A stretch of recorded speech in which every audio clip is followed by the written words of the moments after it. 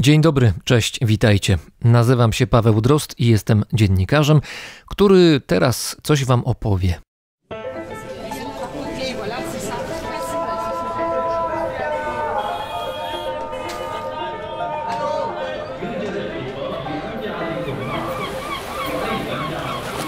Brzmienie świata z lotu Drozda. Dawno, dawno temu. A to może jeszcze raz.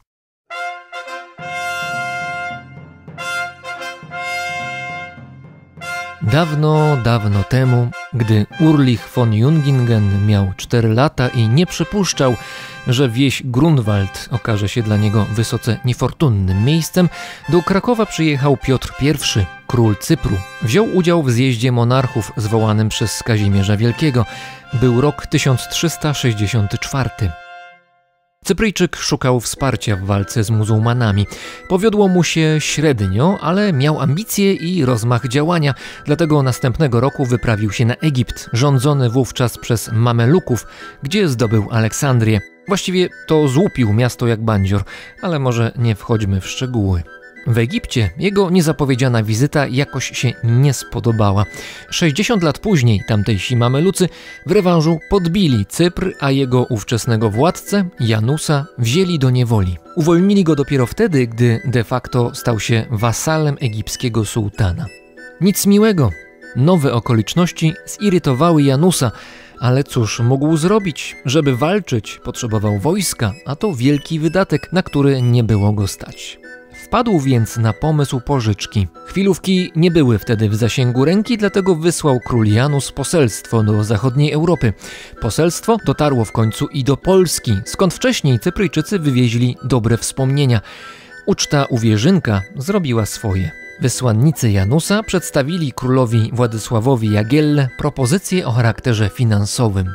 Polska pożyczy Cyprowi niemałą sumę na wojnę z niewiernymi, syn Janusa zostanie mężem Jadwigi, córki Jagiełły, a jeśli pożyczka nie zostanie spłacona o czasie, Cypr stanie się własnością Polski.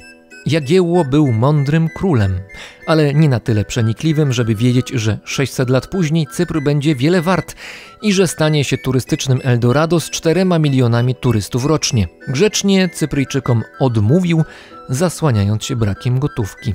Tak więc poselstwo wyjechało z Polski z niczym. Król Janus nigdy nie dowiedział się o porażce. Pochowano go kilka miesięcy później. Tymczasem w roku 1974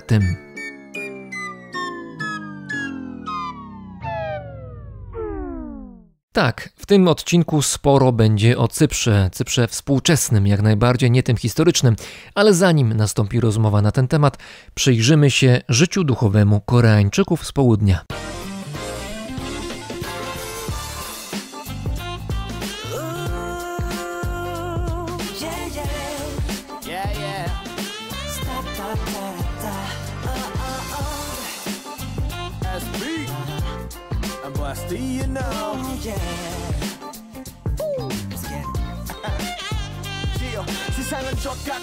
뭐 하나 제대로 된 게 없어. 불안한 사회 또 내 인생은 한구를 적셔.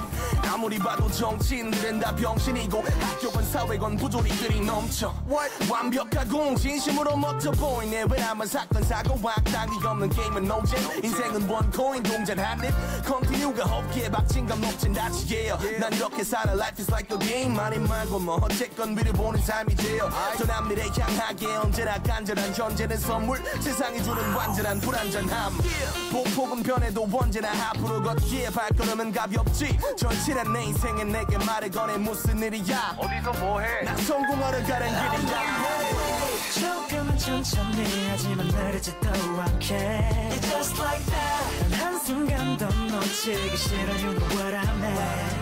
다 생겨야지 내 앞에. 널 세상에 남겨둔 아이템 Oh yeah. Oh every single day's a blessing prepared yet to keep all my b-boys and girls rocking life, yeah. It goes like...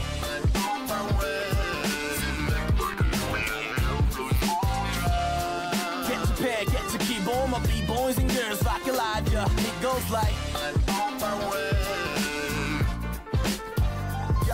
사람이 완벽할 수는 없지. 어려운 게임 인생은 이리저리 치매 안 좋은 일들을 겪지. 불행은 길고 행복은 잠시 뽕. 돌아서면 다시 힘든 삶의 꿈은 작시품 허나 행복하기만 한다면 그게 행복일까? 누구 말처럼 천국에도 지른 그림자 우리는 비교 대상을 잘못 짚고 있어. 이건 행복으로 가는 과정이야. 그렇게 믿고 있어. 그렇다면 언제부터 기쁠 수 있나 생각해봐. 우리 택배 받기 전부터들 뜨잖아. 밤 맵이 나른 달도 결국 태양이 비추는 것. 멋진 밤이야 이 밤은 내일의 밑그림 점점 더 가까워지는 내일 모두도 성공적이야 아직은 씁쓸해도 덜 익은 셈 My bluebird 넌 어디서 뭐 하고 있니? 나는 걷고 있어. 너에게 가는 길이야. Yeah I like the way my life goes on and and on hey. 조금은 천천히 하지만 느리지도 않게. It's just like that 단 한순간도 놓치기 싫어. You know what I mean 다 챙겨야지 내 앞에 너의 세상에 남겨둔 아이템 Oh yeah Oh every single day's a blessing Oh. Get your pad, get your keyboard, my b-boys and girls rock your life, yeah. It goes like.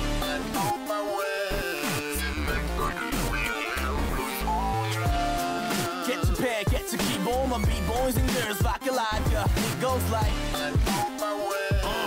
Uh, like a gameplay, you know what I'm talking about. 조금은 천천히 하지만 느리지도 않게 You're just like that 단 한순간도 놓치기 싫어 You know what I mean 다 챙겨야지 내 앞에 너의 세상에 남겨둔 아이템 Oh yeah Oh every single day's a blessing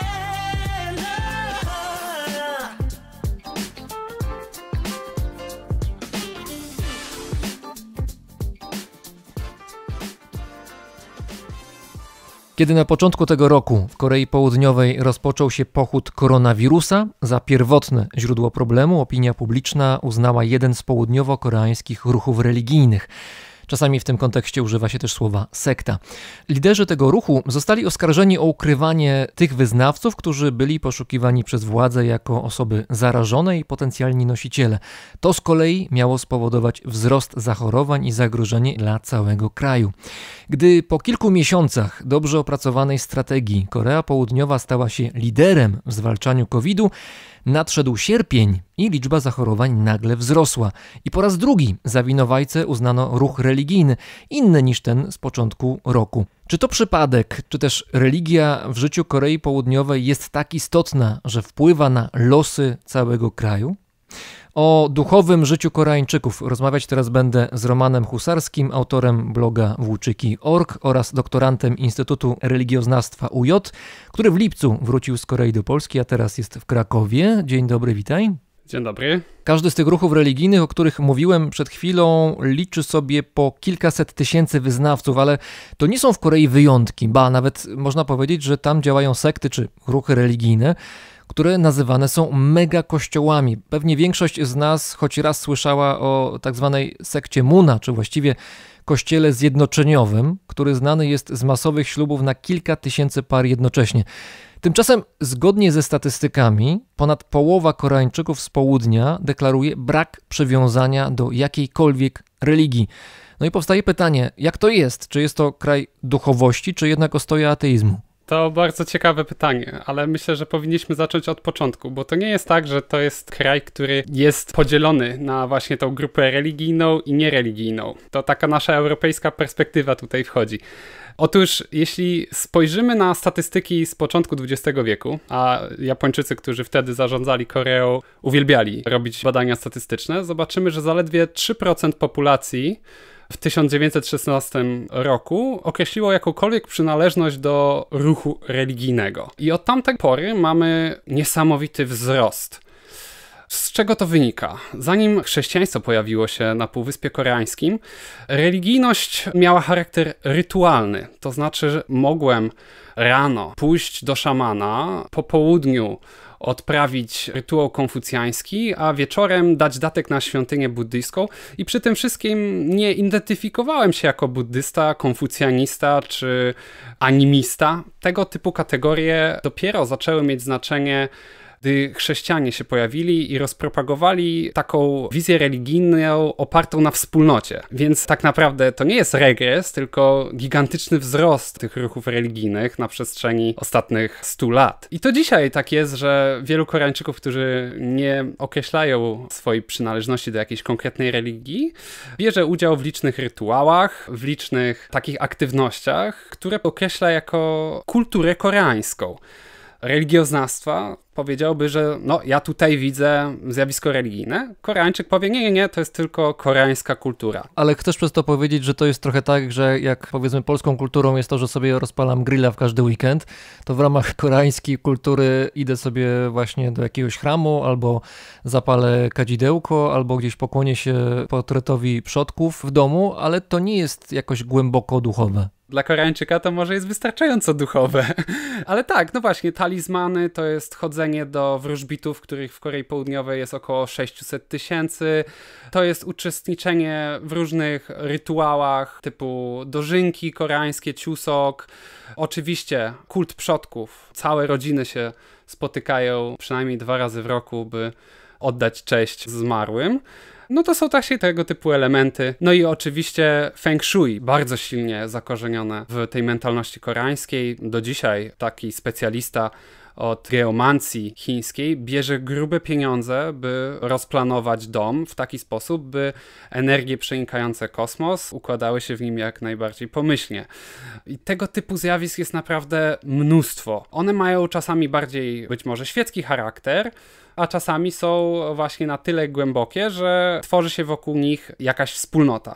Bo gdy mówimy o tych wszystkich kościołach, to one często mają charakter synkretyczny. One trochę biorą z chrześcijaństwa, trochę biorą z konfucjanizmu, z szamanizmu, nawet z różnych takich wierzeń, które nazwalibyśmy wierzeniami tradycyjnymi, koreańskimi.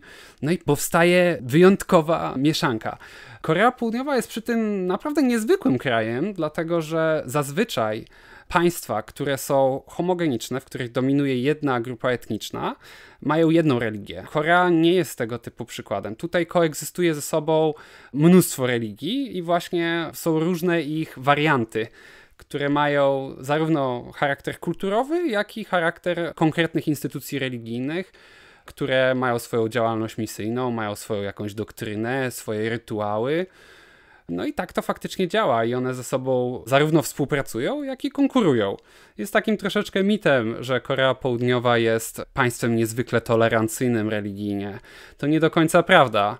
Tak, oczywiście nie ma tutaj być może takich scen, jakie znamy z Pakistanu, ale jest też trochę tej nietolerancji, zwłaszcza do religii, które w jakiś sposób kwestionują kulturę i zasady społeczne w Korei Południowej. Na przykład świadkowie Jehowy, którzy odmawiają służby wojskowej od lat i od dekad są za to prześladowani, wsadzani do więzień. To się ostatnio poprawiło, ale zwłaszcza w latach 70., 80., osoby z tego kościoła no, regularnie trafiały do więzień, były bite, były też morderstwa na, na tym właśnie religijnym tle.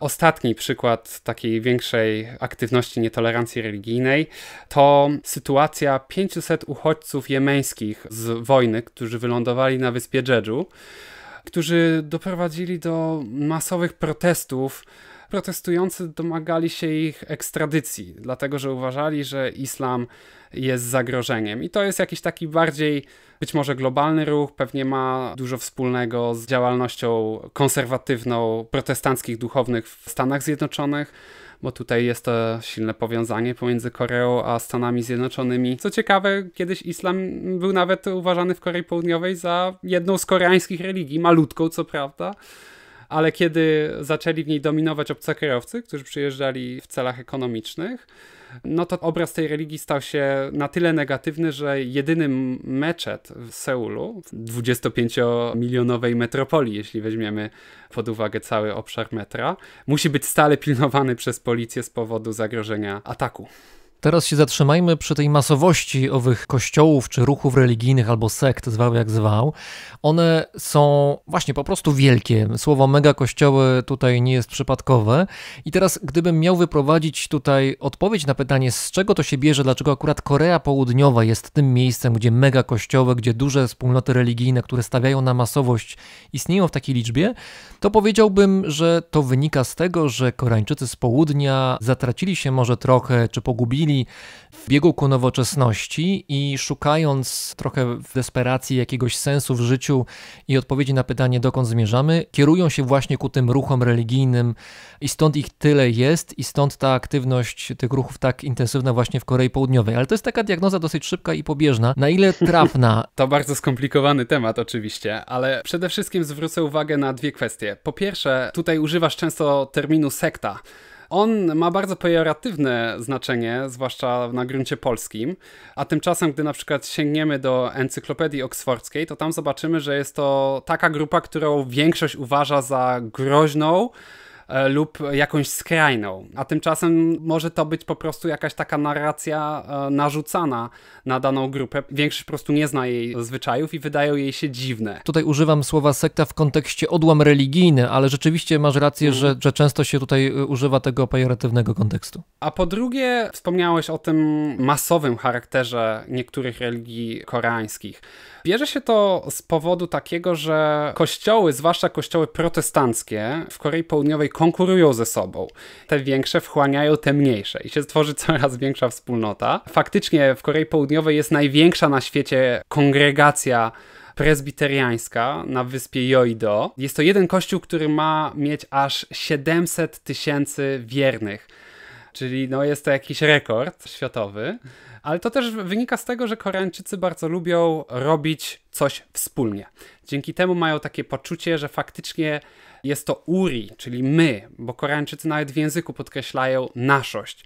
Nasza jest rodzina, nasza jest żona, nasz brat, nie mój brat. Wszystko jest nasze i tak samo w ten sposób mają takie wyobrażenie, że Koreańczycy są taką jedną wielką rodziną.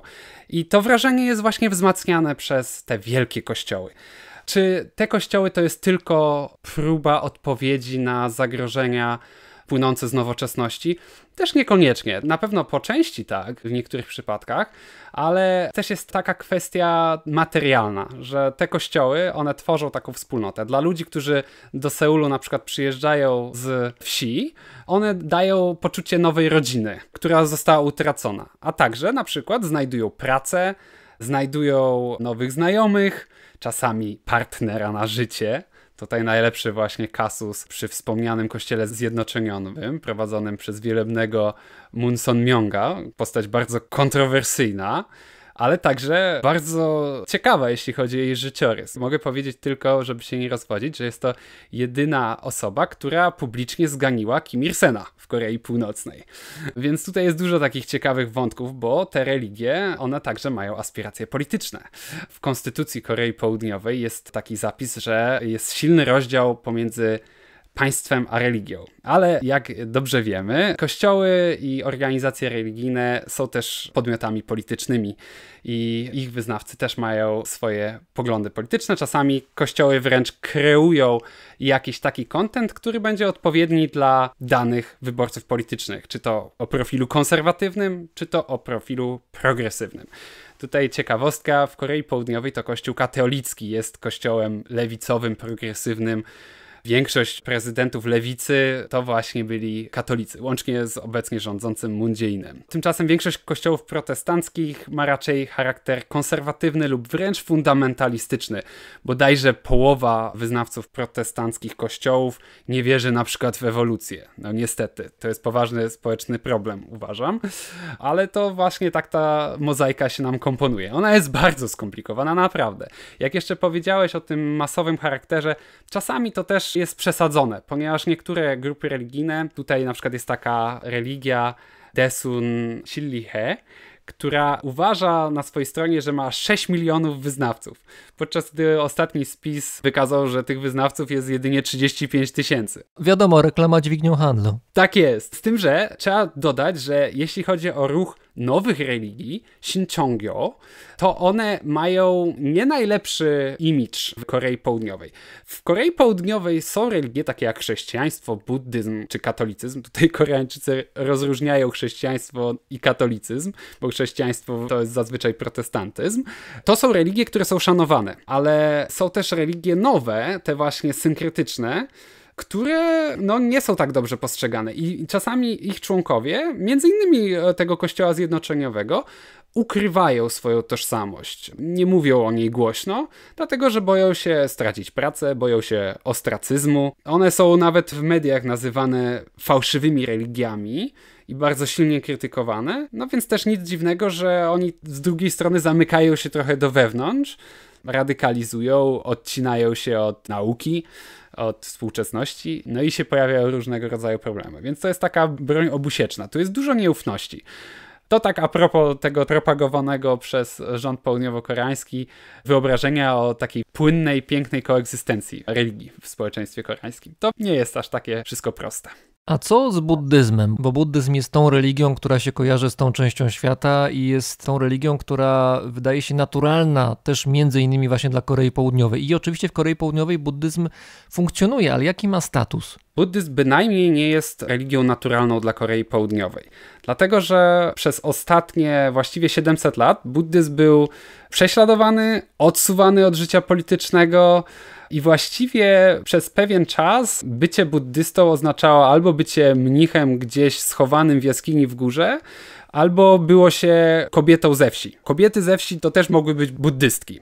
Czyli bardzo negatywne było wyobrażenie buddyzmu. Do tego stopnia, że aż do początku XIX wieku, do upadku Królestwa Choson, neokonfucjańskiego, które właśnie bardzo było krytycznie nastawione do buddyzmu, buddysty mnisi nie mieli w ogóle wstępu do stolicy. Nie mogli wejść do Seulu. Pierwsza świątynia pojawiła się dopiero w 1905 roku. Proszę sobie wyobrazić, jak późno. Ale w XX wieku mnisi buddyjscy postanowili, że muszą dokonać reformy buddyzmu, jeżeli mają z powrotem zainspirować Koreańczyków. Więc oni oczywiście powtarzają, że tak, buddyzm jest religią koreańską, że my jesteśmy czymś, co jest związane z koreańską kulturą. No i tutaj właśnie z drugiej strony jest sporo Koreańczyków, którzy chodzą do świątyni buddyjskiej, ale nie nazywają się buddystami tak, dadzą datek na jakiś rytuał o szczęście, zwłaszcza przed egzaminami. To są niektóre są takie świątynie, zwłaszcza jest w Degu taka jedna znana, która jest oblegana przed okresem koreańskiej matury, ale to nie znaczy, że ci ludzie są buddystami. To jest taka świątynia, w której nastąpiła specjalizacja, jak rozumiem.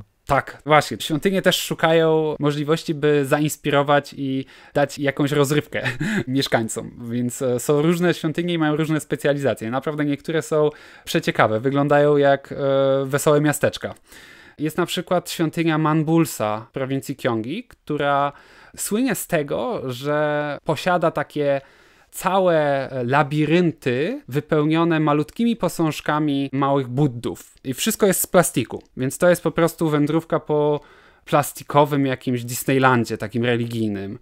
Jest tam więcej takich różnych ciekawych rzeczy, na przykład są takie kule, w których odbijają się ci wszyscy buddowie i to ma przywoływać obraz religijny, kosmologię buddyjską, Mahajany, która właśnie mówi, że jest nieskończona ilość światów, w których żyje nieskończona ilość buddów oświeconych i te wszystkie światy się w jakiś sposób przenikają, więc to jest bardzo ciekawe z punktu widzenia religioznawczego. A z punktu widzenia turysty jeszcze bardziej.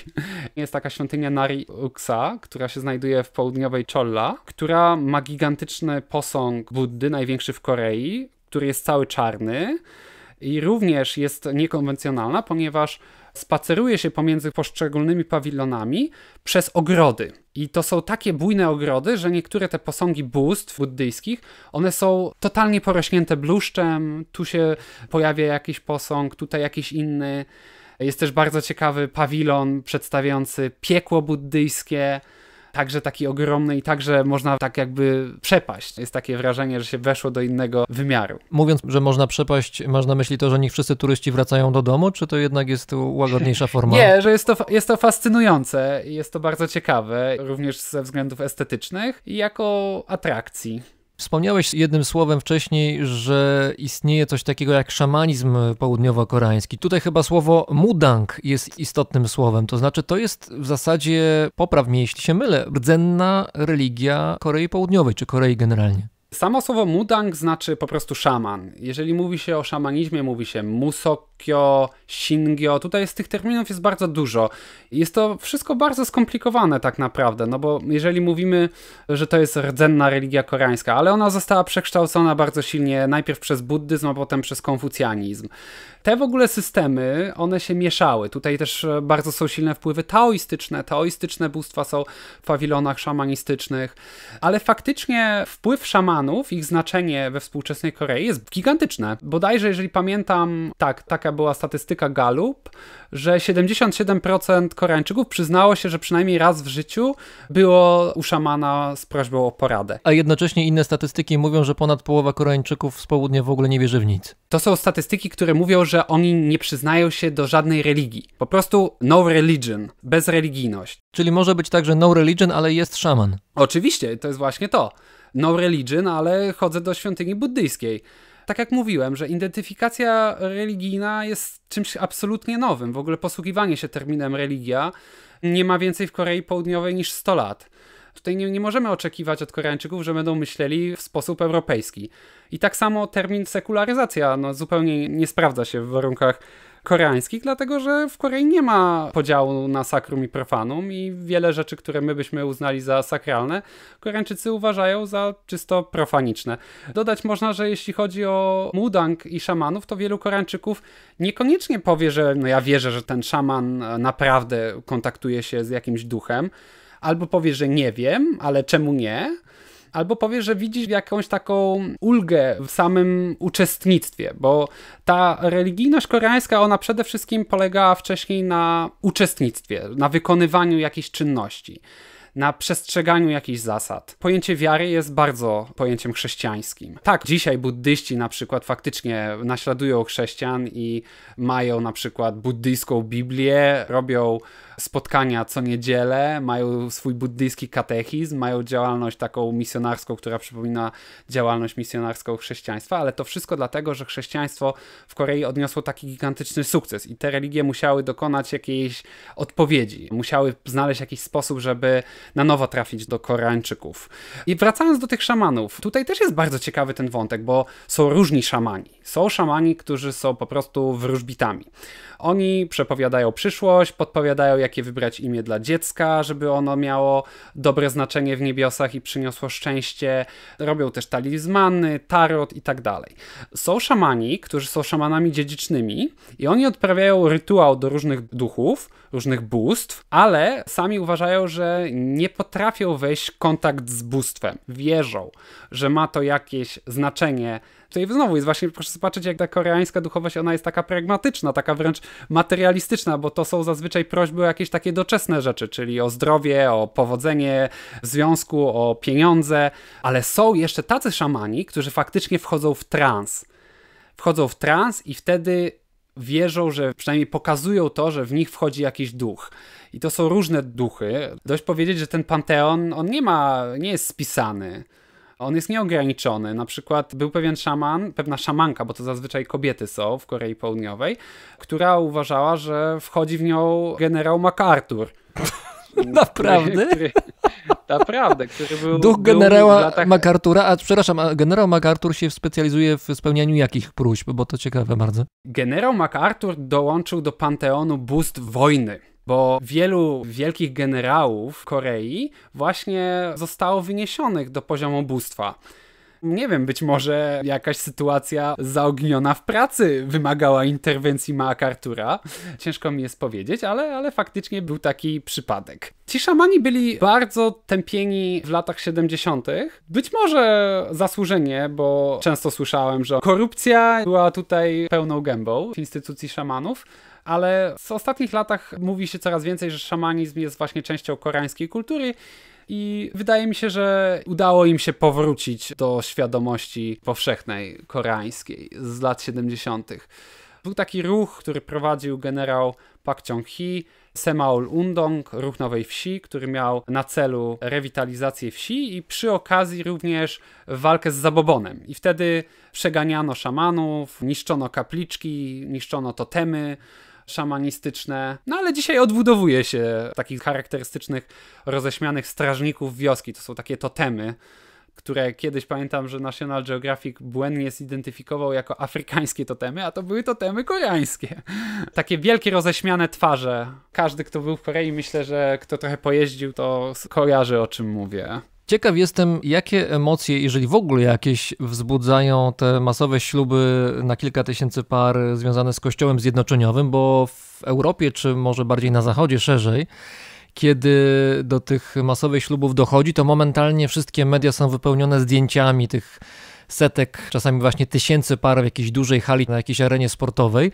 Czy w Korei Południowej ktoś się tym przejmuje? Czy ktoś zwraca na to uwagę? O tym się mówi? Koreańczycy mają wewnętrznego mnicha. Oni mogą nie być buddystami, ale wewnętrzny mnich jest w nich mocny. Ja czasami obserwowałem różnych kaznodziei ulicznych, czasami takich apokaliptycznych, którzy stają z jakimś napisem, że nadchodzi koniec świata, trzeba się nawrócić, coś tam wykrzykują i po prostu nikt ich nie słucha. Tak naprawdę nikt. I to jest bardzo, bardzo charakterystyczne w Korei. Koreańczycy wewnętrzny mnich każe im przymykać oko na to, co dzieje się w tej kwestii religijnej.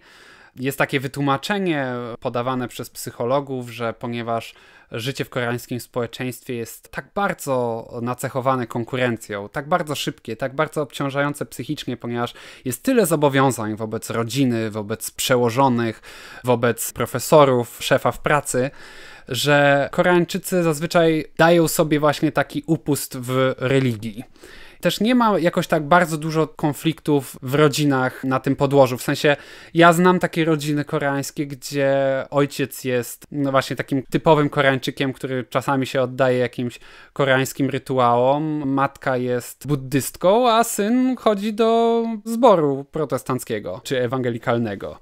I tutaj nie ma, nie ma żadnego problemu. Tutaj Koreańczycy dają sobie zazwyczaj, mówię zazwyczaj, bo mogą być wyjątki, zazwyczaj dają sobie taką wolną drogę w tej kwestii. Oni się nie dziwią, oni się nie dziwią najdziwniejszym ruchom religijnym, no chyba, no chyba, że właśnie jest tutaj jakaś większa motywacja polityczna. No i wtedy może być oburzenie, tak jak właśnie było ostatnio z tym kościołem Sincionzi na przykład, gdzie dochodziło do pobić osób związanych z tym kościołem. Mówisz o tym e, kościele, który był oskarżany o rozdmuchanie pandemii. Tak, no i można powiedzieć, że to jest prawda, bo faktycznie ci misjonarze Sincionzi, oni przyjeżdżali z Chin i cały kościół wychodził z wirusem. Dzisiaj, jak patrzyłem jeszcze na statystykę, to 25% wszystkich zarażeń w Korei Południowej, jest ich około 30 tysięcy, to właśnie są członkowie tego kościoła. は No z tym, że dla władzy to była bardzo dobra sytuacja, dlatego że mogli wykorzystać ich jako kozła ofiarnego, odciągnąć złość na Chiny, na tą grupę religijną, bo obecny rząd Korei Południowej jest raczej prochiński. No a taka jakaś religia, o której mało kto coś wie, to jest idealny kozioł ofiarny. No i to dobrze działało. Potem byli homoseksualiści, bo pewne media wskazały klub gejowski jako źródło zarazy. No i oczywiście był, był lincz w mediach społecznościowych. Potem byli obcokrajowcy, a teraz znowu jest jakiś kościół, więc tak to właśnie idzie. No, faktycznie to takie małe grupy, zwłaszcza jakieś zamknięte, one są najlepszym celem dla polityków, żeby tylko odciągnąć odpowiedzialność od swoich działań. Na koniec chciałbym Cię zapytać, jak wspominasz te ostatnie miesiące spędzone w Korei Południowej, bo miałeś okazję obserwować i uczestniczyć w tym wszystkim, co się działo na świecie w związku z pandemią, ale właśnie z perspektywy osoby mieszkającej w Korei Południowej.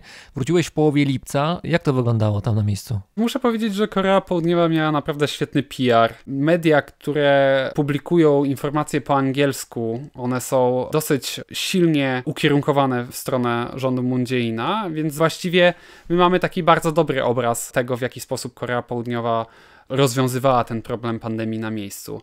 Natomiast ja widziałem bardzo dużo problematycznych kwestii. Przynajmniej dopóki ja tam mieszkałem, Korea nie zdecydowała się wprowadzić pełnej izolacji mieszkańców. Maseczka miała wystarczyć. Dzieci nie chodziły i młodzież do szkoły, no ale wszyscy się spotykali na popołudniowych zajęciach. kluby były otwarte, karaoke było otwarte, wszystkie restauracje były otwarte. Jeśli chodzi o pracę, to też większość tych zakładów nie przeszła na pracę zdalną. Tam był też bardzo, poza tym nacjonalizmem i szukaniem winowajców, no to był bardzo duży chaos. Do tego stopnia, że właśnie Jae-in ogłaszał, że już zwyciężyliśmy z wirusem. Minister zdrowia jakieś miał zupełnie przedziwne wystąpienia. W jednym mówił na przykład, że nie trzeba maseczek nosić, że to jest wina lekarzy, że oni próbują zawłaszczyć wszystkie maseczki dla siebie. Jakieś takie dziwne były różne tego typu kwestie, które w ogóle nie były poruszane w mediach anglojęzycznych, a tym bardziej polskojęzycznych.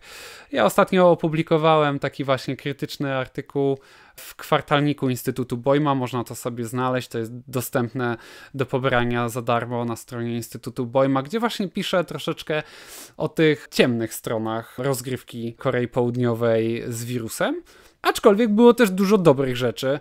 Choćby to, że większość mieszkańców jednak faktycznie dbała o, o te środki czystości, o te maseczki, to na pewno, na pewno im wyszło. Jako obcokrajowiec, e, niestety w tym ostatnim odcinku odczułem dużo uprzedzeń. Faktycznie po tym, jak w dzielnicy zdominowanej przez obcokrajowców Itaewon doszło do takiego ogniska COVID-19, no to relacje pomiędzy Koreańczykami a obcokrajowcami się znacznie pogorszyły.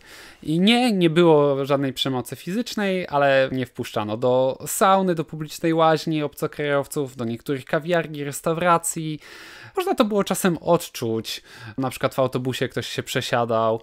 No i na przykład moja żona, która uczyła angielskiego, no to dowiadywała się od swoich dzieci, że no, ojciec mówił, że wszyscy obcokrajowcy mają COVID i nie powinniśmy się do was zbliżać. Tego typu sytuacje. No, ostatecznie może nic jakoś strasznie poważnego.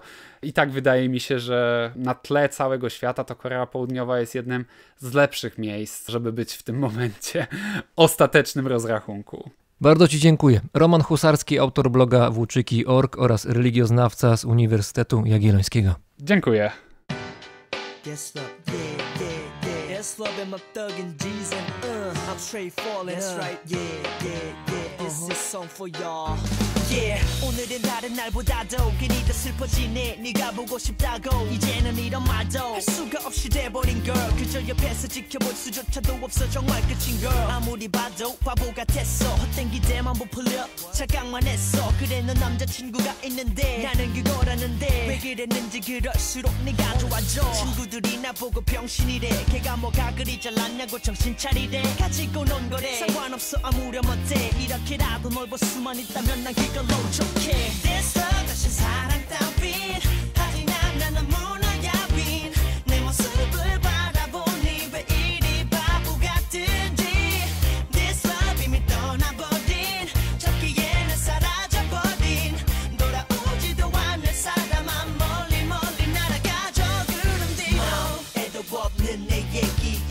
마치 like 하나 빼기 1 September 90s 너의 세계 남아 홀로 남아 fall in love shady 기억은 나니? 네 집 앞에서 밤이 다가도록 너 기다리는 맘이 닿도록 장미 한 다발 들고서 마음은 이미 들떴어. 기대와는 달리 너는 나오고 비가 내렸어. 이제서야 나는 맘을 정리해. 미안해 누군가 있겠지 나를 위로해. 미안해. 그것도 모르고 널 당황케 했니? Yes 니? 또다시 나는 혼자가 됐니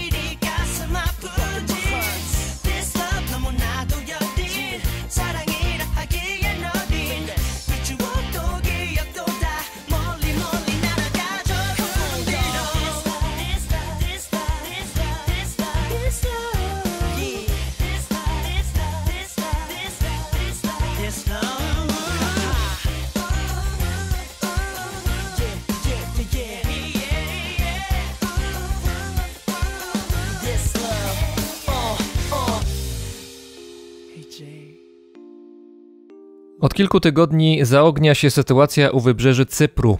W 2011 roku w pobliżu wyspy na dnie morza odkryto duże złoża surowców naturalnych, głównie gazu.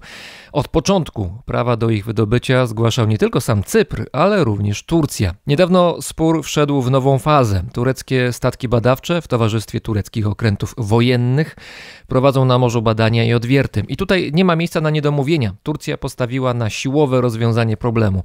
A wszystko toczy się niedaleko wyspy, która dobrze pamięta rok 1974. W tamtym czasie na Cypr łakomie spoglądała Grecja. Pojawiły się nawet pomysły przyłączenia Cypru do Grecji. I na tym tle w 1974 roku wybuchły na wyspie walki. W odpowiedzi na sytuację Turcja dokonała inwazji na wyspę. Pretekstem była ochrona cypryjskich Turków. Inwazja doprowadziła do masowych wysiedleń i podziału wyspy na dwie części. Cypr Północny, uznawany wyłącznie przez Turcję, i Cypr, państwo uznawane przez świat i należące do Unii Europejskiej.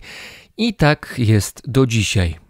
Na Cyprze jest z nami teraz Agnieszka Georgiju, od 11 lat mieszkanka tego kraju. Dzień dobry, witaj, cześć. Dzień dobry, witam. Mieszkasz na wschodnim wybrzeżu w Larnace. To miasto niewielkie, bo trochę ponad 50 tysięcy mieszkańców, ale i tak jedno z większych na Cyprze, bo na wyspie chyba jakoś inaczej się postrzega to, co jest duże i to, co jest małe. W końcu też Cypr sam nie jest wielki. Tak, no jest to miasto przede wszystkim, które posiada port lotniczy. Jeżeli chodzi o większe osiedlenia mieszkańców, to jest oczywiście stolica, czyli Nikozja i Limassol, gdzie głównie teraz osiedla się bardzo dużo obywateli rosyjskich, także bardzo dużo Polaków ale Larnaka jest takim portem i lotniczym i teraz rozbudowuje się także port statkowy, czyli będzie więcej miejsca na sumowanie statków. O Rosjanach to jeszcze za chwilę porozmawiamy, mam nadzieję. Natomiast zatrzymajmy się może przy samej Nikozji. To jest stolica Cypru i jednocześnie też miasto uznawane za stolicę przez Turków cypryjskich. Stolica tak. nieuznawanego przez większość świata, no oprócz Turcji, Cypru Północnego. Miasto podzielone i tutaj ten podział bardzo wyraźnie widać. Jak to w tej chwili wygląda? Bo to się zmieniało na przestrzeni ostatnich lat. Raz było lepiej, raz było gorzej, raz ta granica była mocno wojskowa, zmilitaryzowana, potem było trochę odprężania, teraz znowu chyba jest gorzej. Jak to wygląda w tej chwili? To jest chyba jedyna stolica na świecie, która jest podzielona właśnie na dwie części. No może nie jest oddzielona murem, tak jak kiedyś był mur berliński, ale jednak są zasieki, jest granica. Kiedyś, na pewno jeszcze w latach 90., nie można było przekraczać tej granicy. Były bardzo duże obostrzenia, jeżeli chodzi o przejścia Greko-Cypryjczyków na stronę północną. Teraz już można przechodzić. Ci Greko-Cypryjczycy mogli już od prawie 10 lat odwiedzić swoje dawne tereny, gdzie mieszkali, skąd zostali wysiedleni. No i też dużo korzystają na tym turyści, ponieważ ta strona północna, nie chcę nazywać turecka, posiada dużo takich produktów, powiedzmy, nieoryginalnych, z czego korzysta bardzo dużo turystów. Także sami mieszkańcy Cypru korzystają z tego teraz. Są to przede wszystkim dwie różne religie, dwie różne mentalności, gdzie kiedyś ci ludzie żyli wszyscy na jednej wyspie i jakoś sobie dawali radę razem. No niestety nastąpi podział, cały czas jednak istnieje takie poczucie żalu, jakiejś niesprawiedliwości. Sporo osób straciło swoich bliskich w 1974 roku, ale wydaje mi się, że już sama niechęć do Turko-Cypryjczyków nie istnieje. Bardziej istnieje niechęć do tego, że jednak tamta część jest pod władzą Turcji, więc nie ma całościowego spojrzenia na Cypr. Tamta strona nie jest brana pod uwagę ze względu na żadne statystyki. Nawet jeżeli chodzi teraz o koronawirusa, to co się dzieje na tamtej stronie nikt nic nie wie. Czy twój mąż, grecki Cypryjczyk, pamięta turecką inwazję 1974 roku? Tak, bardzo dobrze pamięta, bo to był jego czas dzieciństwa i pamięta jak miał 6 lat. Musieli właśnie ze swojego miasteczka, swojego domu uciekać do lasu. W tym, tak jak stali, mieszkali parę tygodni w lesie, potem Dopiero budowano dla nich jakieś baraki, jakieś miejsca do mieszkania. Bo to się działo bardzo, Także... bardzo nagle, prawda? Ta inwazja była zaskoczeniem z jednej strony, a z drugiej strony wysiedlenia odbywały się w bardzo szybkim tempie. Tak, to było takie przesiedlenie. Jedni na jedną stronę, drudzy na drugą stronę. Wiele ludzi na pewno potraciło majątki, potraciło dom, już nie mówię o dużych biznesach, gdzie musieli po prostu zostawić wszystko i uciekać. Więc tym bardziej dla osób, które były wtedy dziećmi, Było to bardzo duże przeżycie i tutaj jakby jest to cały czas na świeżo. Historia, która jeszcze będzie przechodziła z pokolenia na pokolenie i będzie jeszcze trwała jeszcze, jeszcze. A mieliście takie wycieczki czy wyjazdy rodzinne gdzieś na tę stronę północną, w miejsca, gdzie rodzina twojego męża kiedyś mieszkała i żeby zobaczyć, jak to teraz wygląda? Były takie pomysły? Oj, na samym początku, jak poznałam męża, to mnie przewiózł jakby wzdłuż tej linii demarkacyjnej. Pokazał mi właśnie miejscowość, w której mieszkał, dokładnie swój dom pamięta. Stoją tam tylko same budynki, bez okien, bez drzwi, po prostu same mury. Wszystko zdewastowane, obrabowane. Oczywiście nie można robić zdjęć. Stoją tam zasieki, budki z tureckimi żołnierzami, co tam 100-200 metrów wszystko mi opowiedział. Ja na początku, jak tu przyjechałam, zobaczyłam te wojska tych żołnierzy z bronią stojących na tych budkach no to troszkę się przestraszyłam. Zastanawiałam się, jak można żyć w kraju, gdzie, gdzie istnieje taki podział, gdzie jest no nie wojna domowa, ale cały czas czuje się taką wrogość, taką, napięcie. Tak, co, co, coś w powietrzu, napięcie, tak? Gdzie nie wiadomo, czy znowu nastąpi jakiś atak, czy nie, bo jednak Greko-Cypryjczycy nie czują się, jeżeli chodzi o wojsko, oczywiście tak mocni i mogą się porównywać do Turcji.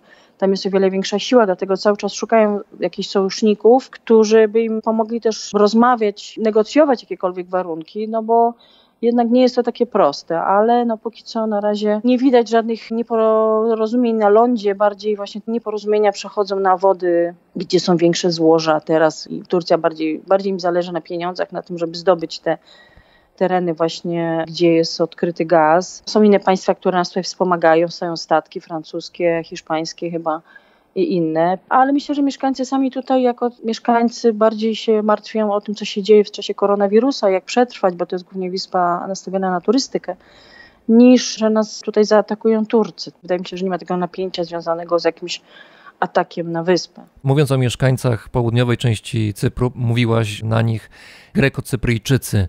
Tak. Na ile Cypryjczyk z południa jest Grekiem? Czy tutaj w ogóle jest jakieś rozróżnienie pomiędzy Greko-Cypryjczykiem a Grekiem jako takim? Na pewno się czują bardzo dumni, że są Greko-Cypryjczykami, ale nie, że Grekami, bo Grekami jako takimi nie są. Są Greko-Cypryjczykami. No jest inna wymowa, inny dialekt. Niektóre słowa są troszeczkę inne, ale jest to jednak język grecki. W szkole uczą czystego języka greckiego te naleciałości nie są jakby utrudnieniem w kontakcie z Grekami. Poza tym tutaj po roku 2000 bodajże 15-16 bardzo dużo przyleciało na Cypr Greków, którzy się osiedlili, szukali pracy, no bo wtedy był kryzys w Grecji. Tutaj pensje były wyższe, więc można słyszeć bardzo dużo czystego greckiego języka. Cypryjczyk jako taki oczywiście zawsze czuje się bliżej Grecji ze względu na kulturę, na język, na religię, głównie religię wydaje mi się, bo to jednak wiąże ludzi. Cypr jest taką wyspą, gdzie tutaj się przewinęło bardzo dużo różnych wyznań religijnych i nacji, dużo państw walczyło o tą wyspę. Niektórzy nawet twierdzą, że w DNA Cypryjczyków jest jakaś domieszka DNA polskiego. No nigdy nic nie wiadomo.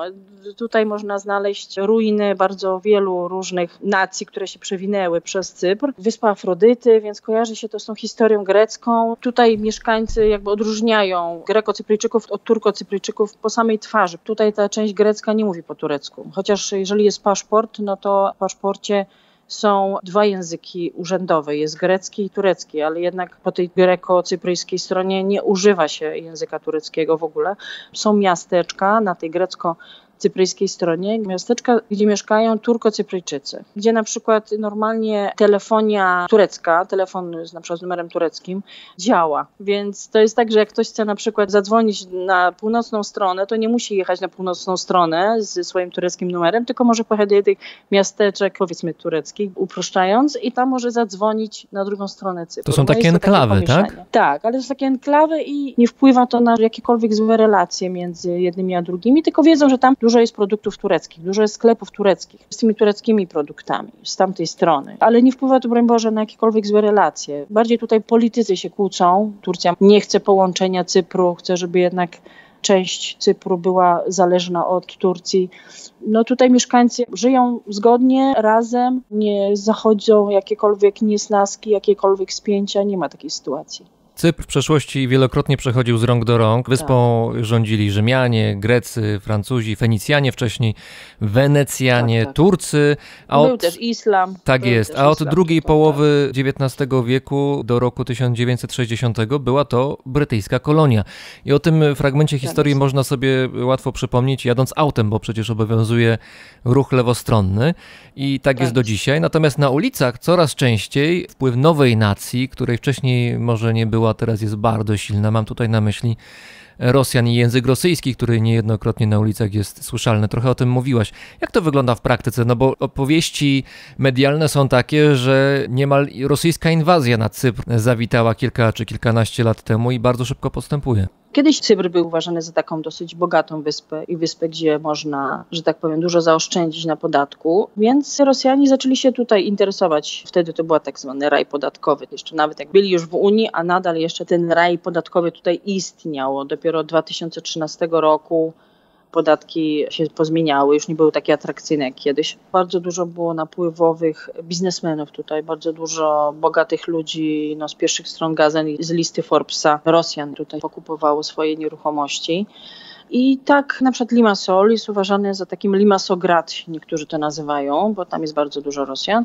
Później zaczęły się duże wycieczki turystów rosyjskich tutaj na wyspę, tej powiedzmy średniej klasy. Faktycznie język rosyjski może nie jest trzecim urzędowym, ale pamiętam były czasy, kiedy parę lat temu nawet taksówkarze, bo tu jest dosyć mało rozwinięty transport publiczny, głównie się poruszają taksówkami, więc taksówkarze mieli nawet narzucony język rosyjski, żeby się nauczyć, żeby się kontaktować z Rosjanami, bo jednak Rosjanie mało znają czy języka angielskiego, czy tym bardziej greckiego. I tych turystów rosyjskich jest bardzo dużo. Gdziekolwiek się nie pójdzie, to faktycznie w tych największych sklepach i na lotnisku, przy obsłudze, prawda, duty free, zawsze są osoby, które mówią w języku rosyjskim. Ale mówiło się też w przeszłości, E, że Rosjanie chętnie kupują ziemię na Cyprze, nie tylko pod inwestycje, ale po prostu, żeby właściwie się osiedlać, albo żeby mieć drugi albo trzeci no dom tak, na Cyprze, tak, prawda? Tak, no kupują. No i przede wszystkim Cypr był też takim krajem, który był bardzo otwarty, że tak powiem, na sprzedaż obywatelstwa cypryjskiego. Już nie będę tutaj wymieniać, jakie to są kwoty. To już nie mówię nawet o Rosjanach, ale także o Chińczykach, którzy tu bardzo często się osiadlają. To znaczy są, są chińscy Cypryjczycy? Trudno ich nazwać Cypryjczykami, bo raczej greckim ani angielskim czasami nawet nie operują. No mówię z doświadczenia, bo pracuję na lotnisku i sama odprawiam tych pasażerów do domu, więc są Chińczycy, którzy na przykład nie operują żadnym językiem oprócz chińskiego, tylko ich dzieci, które chodzą tu do szkoły, znają angielski. To dzieci tłumaczą rodzicom, co my do nich mówimy, bo oni sami używają tylko Google'a. Jest dużo Chińczyków, którzy tutaj właśnie zakupili domy. Trzeba kupić nieruchomość, trzeba zapłacić za paszport i wtedy się ma paszport cypryjski. Tak samo jest, jeżeli chodzi o Rosjan. Bardzo dużo można spotkać Rosjan z cypryjskim paszportem, gdzie na przykład wylatują z Cypru na rosyjskim paszporcie tam do siebie, a przylatują na cypryjskim. Jest lotnisko w Nikozji po stronie północnej, które jest lotniskiem, gdzie głównie się wylatuje do Turcji i potem z Turcji można lecieć sobie na cały świat. Jeżeli ktoś przyleci na lotnisko północne, przedostanie się, przejedzie na południową stronę i będzie chciał wylecieć z Cypru południowego, to nie wyleci. Czyli formalnie, jeżeli przylecę na Cypr, ale wyląduję w części północnej, to z formalnego, oficjalnego punktu widzenia mnie tam w ogóle nie powinno być. To znaczy nie przeleciałem legalnie tak, na jak, wyspę. tak jakby ciebie na Cyprze nie było. Dla nas, dla tej strony cypryjskiej, uznawanej przez Unię Europejską. Ciebie nie ma na Cyprze. Bardzo to jest skomplikowane wszystko i też symbolem podziałów na wyspie, takim chyba najważniejszym symbolem jest miasto Famagusta w tureckiej części wyspy, a właściwie to jedna z dzielnic tej wyspy, która kiedyś była takim turystycznym Eldorado. No tak, kiedyś Cypr, jeszcze pamiętam z rozmowy z moim dobrym znajomym z Warszawy, kiedyś jego ojciec był w Famaguście. To był jedyny taki największy kurort z najpiękniejszymi plażami, z pięknym jasnym piaskiem i z turkusowym morzem. Pokazywał mi jeszcze zdjęcia właśnie z Famagusty, jak to tam wtedy wyglądało, jak był na wakacjach, jeszcze przed 74 rokiem. To był największy kurort na Cyprze. W ogóle północna część wyspy to były najlepsze, najpiękniejsze plaże. Tam właśnie były kurorty turystyczne, którymi wyspa mogła się chwalić. Tam jest też piękny zachód słońca, bo my mamy po naszej stronie wschód, a tam jest piękny zachód. I też Famagusta, która akurat mieści się bardziej w części wschodnio-południowej. Tam głównie żyła ta turystyka.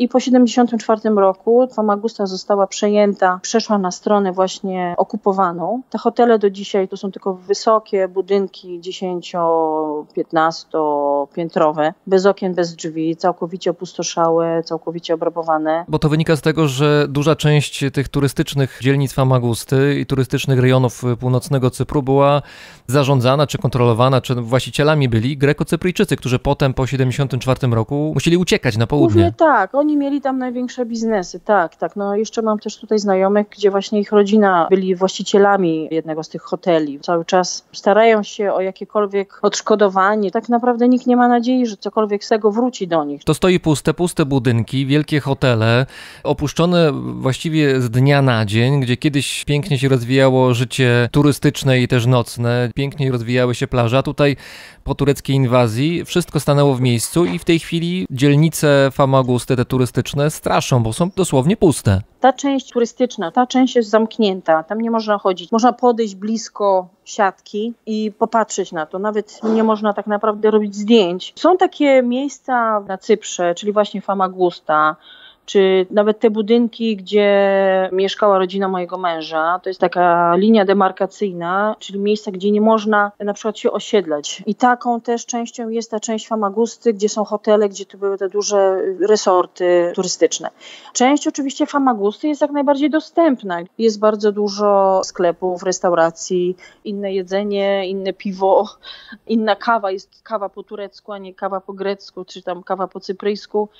Jeżeli chodzi o turecką północną stronę, gdzie byli wysiedlani Grekocypryjczycy, tak, zostawili swoje domy, cały swój dobytek, to tam na przykład Turkocypryjczycy mieszkają. Weszli do domów, mieszkają, normalnie żyją. Tutaj w Larnace też mamy takie małe uliczki, gdzie były domy, w których mieszkali Turkocypryjczycy i tam Grekocypryjczyk na przykład nie może się osiedlić, nie może mieszkać. Ale to, co jest na tamtej stronie, to, to my już na to wpływu nie mamy. Tam sobie zrobili z tym majątkiem Grekocypryjczyków, co chcieli. No na pewno boli to wiele osób. Stracili ogromne majątki. To, co im odebrano, to już nie odzyskają tego. Nawet jeżeli tam pojadą i zobaczą, że w ich domu ktoś żyje, nie są w stanie wpłynąć jakkolwiek na tą sytuację. No jak tu przyjechałam i zobaczyłam zasieki żołnierzy, no było to takie... Czułam się niepewnie. No ale jak już tu żyje i widzi, że ci Grecy cieszą się życiem, ta gościnność cypryjska czy grecka jest zawsze taka właśnie e, otwarta zaproszą cię na kawę darmową, zaproszą cię na suflaki. Ci ludzie po prostu żyją, chcą się cieszyć życiem i jakby nie chcą cały czas patrzeć wstecz. Jak się poruszę ten temat, to oczywiście no, potem rozmowy nie ma końca, ale starają się przechodzić do codzienności i starają się no, cieszyć tym, co mają. Zakończmy tę naszą rozmowę dzisiaj czymś bardzo pozytywnym. Dzisiaj obchodzisz urodziny, także wszystkiego najlepszego. I od no, razu dziękuję. skorzystając z okazji, zapytam, jak się świętuje na Cyprze, jak to wygląda? No domyślam się, że jakoś pewnie rodzinnie i z rozmachem, ale konkretnie jak to będzie wyglądało? Oj, ja raczej spokojnie obchodzę urodziny. Na dzisiaj spokojnie. Jest taki upał na zewnątrz, że nawet nie miałabym odwagi gdziekolwiek pójść na plaży i zrobić imprezę. No, słyszę klimatyzację cały czas. Tak, no w piątek ma być prawie 40 stopni, co jest tylko temperaturą jakby w cieniu. Koniec lata i, i takie gorące klimaty. I strasznie duszno jest. Bardzo duża wilgotność jest teraz na Cyprze. Ale normalnie, jeżeli chodzi o urodziny, to obchodzą to ludzie hucznie. Idzie się do restauracji, zaprasza się tam znajomych, zależy ilu się ma, ale naprawdę Cypryjczycy mają bardzo dużo znajomych znajomych i z pracy, i ze szkoły, i jeszcze z wielu, wielu. Więc taki długi stół jest na 20 osób. Zamawia się głównie mezę, czy to rybne, czy to mięsne, cały zestaw różnych dań. Z jedzenia nie ma końca, nigdy nie jest się w stanie przejeść tego wszystkiego. Zamawia się czy piwo, czy wino, czy pije się uzo, czy ziwanie. Bawi się przy muzyce greckiej. Oczywiście potem na końcu ląduje tort na stole. I tak naprawdę trzy godziny można siedzieć, czy cztery nawet, bawić się, pić i, i, i dobrze spędzać czas ze znajomymi. Na pewno jutro przyniosę jakiś tort do pracy, bo zawsze dzielimy się z naszymi tutaj znajomymi z pracy czymś słodkim i zawsze, zawsze ktoś przyniesie coś słodkiego. Codziennie coś ląduje na stole. Cypryjczycy obchodzą hucznie urodziny, każde urodziny, czy to są urodziny dziecka, czy to są ich własne. Bardzo często do siebie dzwonią, są bardzo rodzinni, więc naprawdę, jeżeli ktoś ma urodziny, a głównie Facebook teraz przypomina znajomym i rodzinie o tym, kiedy ktoś obchodzi to święto, więc naprawdę można liczyć na set życzeń, telefonów. Już też właśnie w czasie naszej rozmowy też już kilka telefonów nieodebranych mam, więc naprawdę cieszę się, że dużo ludzi składa mi życzenia, o mnie pamięta, to jest naprawdę bardzo, bardzo miłe. Wszystkiego dobrego i dobrej zabawy dzisiaj w ciągu dnia, może trochę z niższymi temperaturami. A jak mówiłaś o Uzo, to mi się skojarzyło, że dawno nie miałem okazji pić, a, a to jest bardzo fajny alkohol, go bardzo lubię. On jest taki No nie coś ma lubi dobrego. anyż, tak, to jednak jest bardzo specyficzny. Ale jak się polubi, to można naprawdę wsiąknąć, że tak powiem. No tak. Mogę na przykład polecić, że jak się na przykład robi ślimaki, jeżeli jadasz ślimaki, ja tutaj też Czasami. jest taki sezon na ślimaki, to, to właśnie uzo się dodaje do wody O, dla podkreślenia smaku. Bardzo dziękuję. Z Cypru, z Larnaki mówiła do nas Agnieszka Georgiju. Wszystkiego dobrego. Dziękuję uprzejmie, pozdrawiam wszystkich słuchaczy.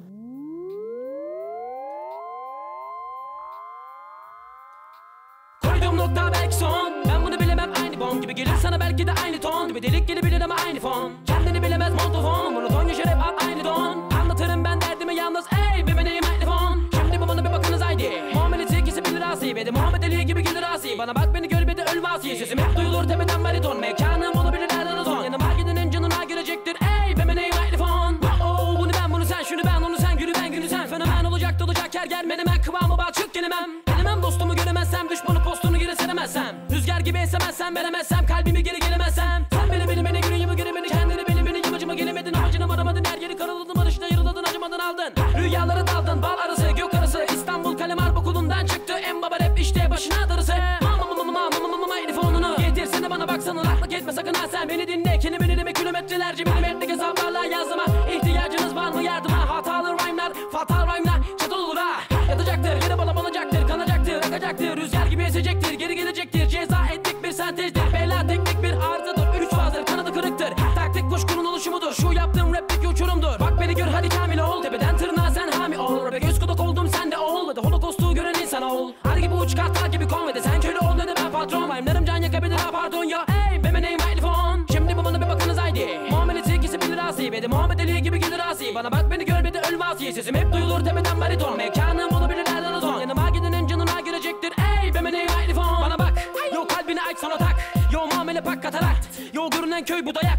Sözlerle gelen kendin o Nostradamus sanına Namus gerekir ceza gibi bir kabus gerekir. Fanus gibi deliğinize şekilde mavuz sokulur? Bana bir bakınız sakınız underground'ı. Kafanızı takınız yakınız. Aleve veriniz Her yerde holokostu görünüz. Gösteriniz. İşte bu hip gösterimiz. Yo Allah rapin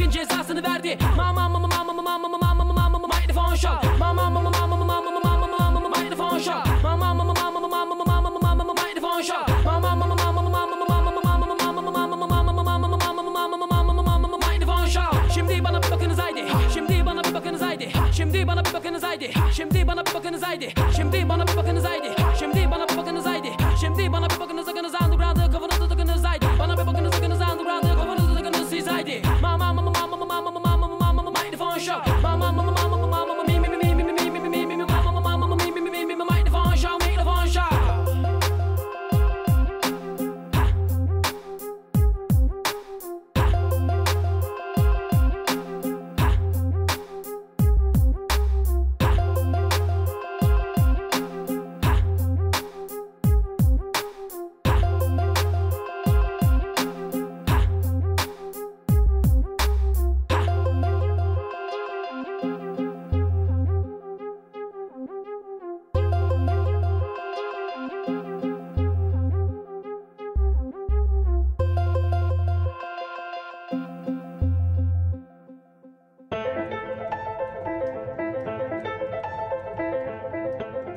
To był dziewiętnasty odcinek Brzmienia Świata z lotu Drozda, audycji, która istnieje dzięki słuchaczom. Jeśli znajdujesz tu treść, jakość i chcesz pomóc w ich dalszym istnieniu, rozważ proszę wsparcie Brzmienia Świata na Patronite.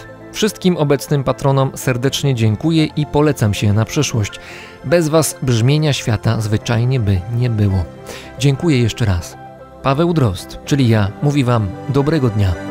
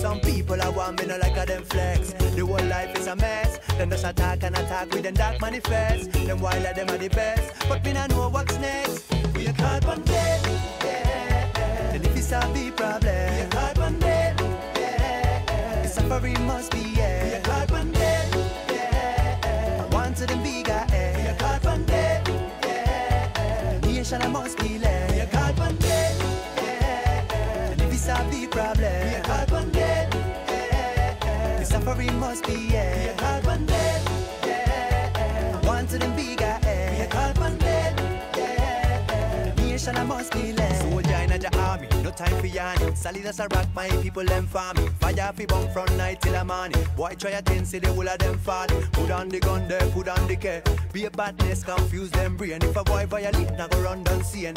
Cause man I go live in a vein, so me stay on the main. Happy and proud with the same. Now me nah go ride too lame, me nah care about fame. Now for them I want insane, now for them I look too lame. We nah know about then, we nah beg friend. Tell them I ready, so me tell them again. Me nah care about one, me nah care about ten.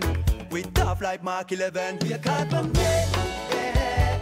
And if it's a big problem, we a carbon dead, yeah. The suffering must be, yeah. We a carbon dead, yeah. I want to them bigger, eh. We a carbon dead, yeah. Nation I must be led. We a carbon dead, yeah. And if it's a big problem, we a carbon dead, yeah. The suffering must be, yeah.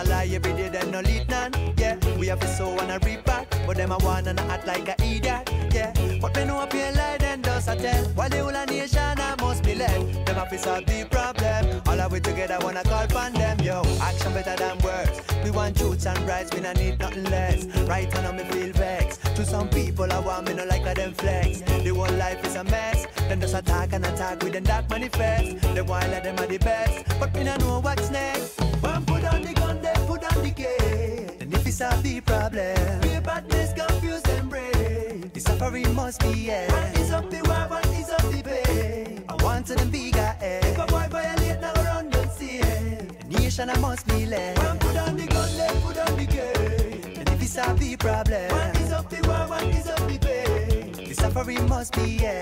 We badness confuse them brain. I want to them bigger. Yeah, God one day. Yeah. The nation I must be led.